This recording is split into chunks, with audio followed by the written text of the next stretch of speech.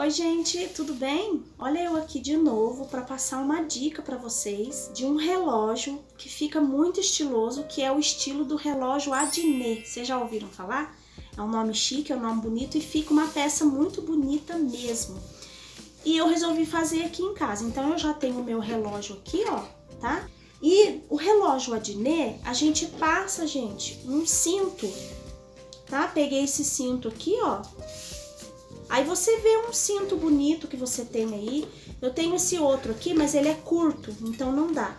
Então eu vou usar esse aqui, ó, tá? Tem a fivela.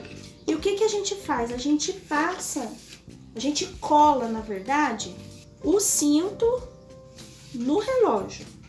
Ó, vai ficar mais ou menos assim, ó. A fivela tá aqui de lado. Olha que bonito que vai ficar.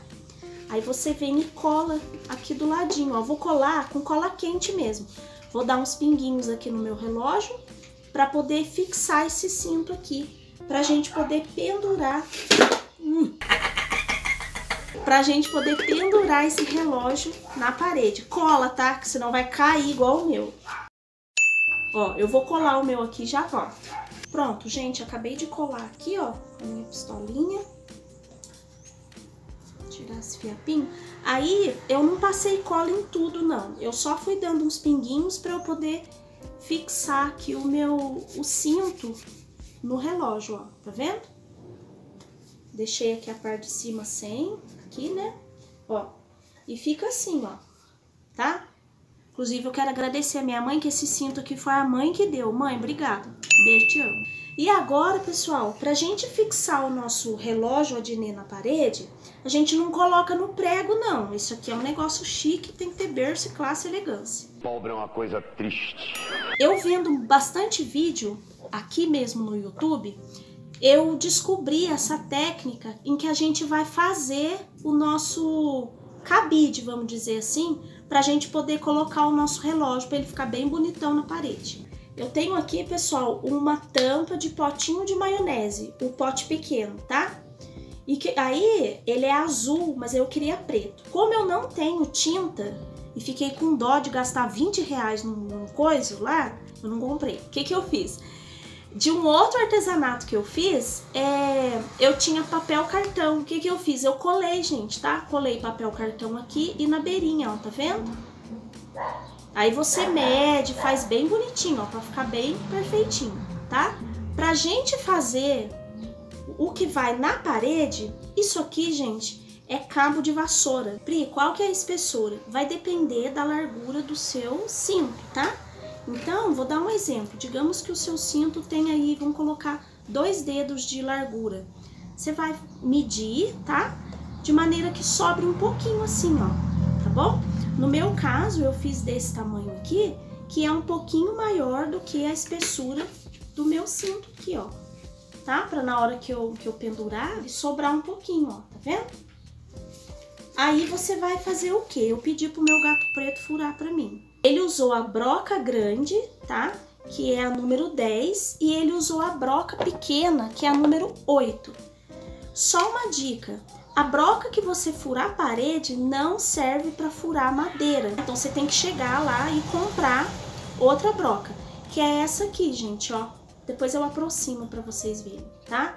Essa broca aqui, ela é para furar madeira, furar ferro, uma coisa assim. Vocês estão entendendo, né? Aí eu tenho aqui bucha 8 e parafuso 8. Ele furou para mim toda, tá?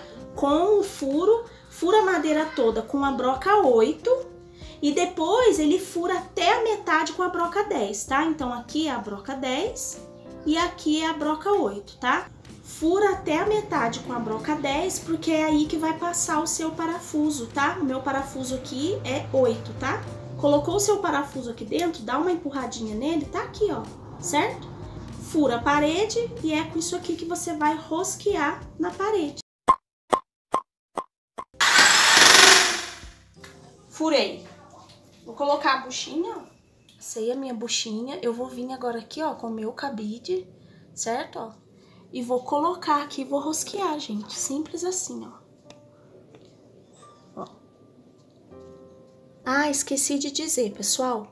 Como você colocou, o meu já fixei aqui, ó. O que que eu fiz? Comecei a rosquear, eu percebi que ele tava, ele não tava pegando aperto, tá?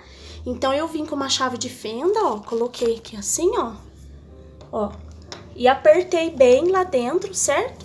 Agora eu vou vir e vou colar essa parte aqui, ó, já tava até colado. Só que daí rosqueando ele não tava pegando aperto. Eu tirei, agora eu só passo mais um pouquinho de cola aqui e vou fixar assim, ó. Pronto, ó, já fixei, fica bem firme. E até isso aqui colado com cola quente, gente, fica firme também, ó. Tá? Bem firme mesmo. Porque o seu relógio não vai encostar aqui. Isso aqui é só um charme, essa ponta. O seu relógio vai bem aqui o cinto, ó. Pronto, gente, fixei o relógio. Olha que bonito que ficou. Bem bonitão, olha lá do ladinho, tá vendo? Bem bonitão, bem bonitão. Ah, gente, que lindeza, adorei, tá vendo, ó? Muito simples, muito fácil e ficou bonitão na parede, ó. Espero que você tenha gostado, eu vou, mas eu volto daquele jeito, simples, leve, com DIY, como diz a minha filha, bem facinho para você fazer, do jeito que deve ser. Tchau!